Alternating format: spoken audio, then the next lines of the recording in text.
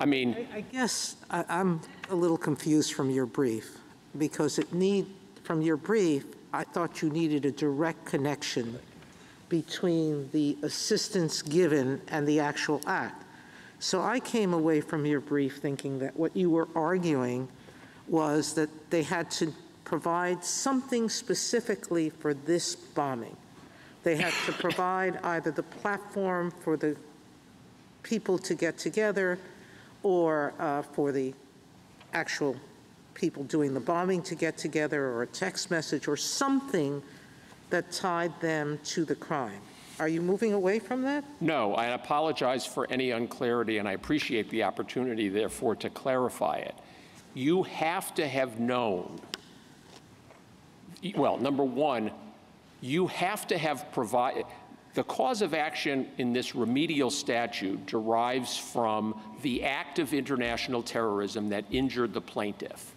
You had to have provided substantial assistance to an act of international terrorism that happened to be the one that injured the plaintiff. Otherwise, there's no connection between your assistance and the cause of action. What you don't have to know in advance is that the target would be the Reina nightclub as opposed to Taksim Square or the Paris Metro.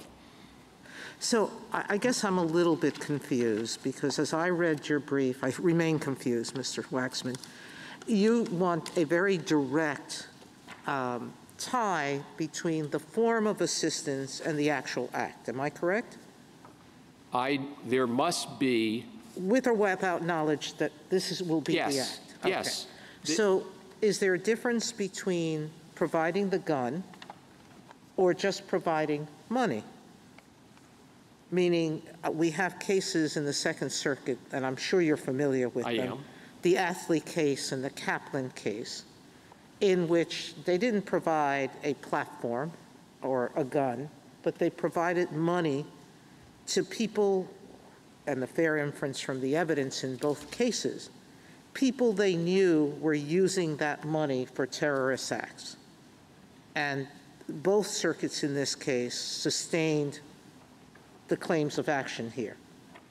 So why was, why was the indirect assistance, fungible money, um, make those defendants liable, but you're not liable for providing a platform that you knew they were using to recruit people and to um, help arrange other terrorist acts, perhaps not this one, but you helped the enterprise.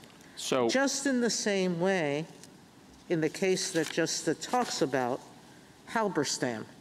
In Halberstam, the woman didn't know which bar- burglary, where.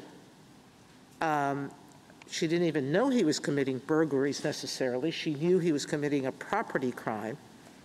She was just assisting his enterprise generally. So I- talk I to me about lot- what your I hear a lot of, a lot of questions, and I hope that I remember them all. Okay. If I haven't answered them don't worry, all- I'll come back to you. Okay, thank you.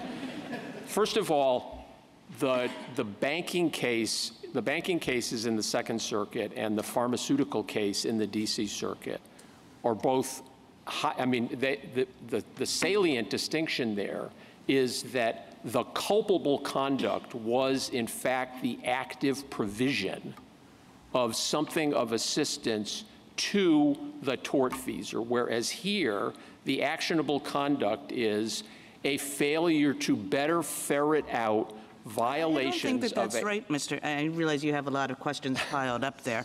I, I, I do want them to come back to them, though. You- I- I- Can I I-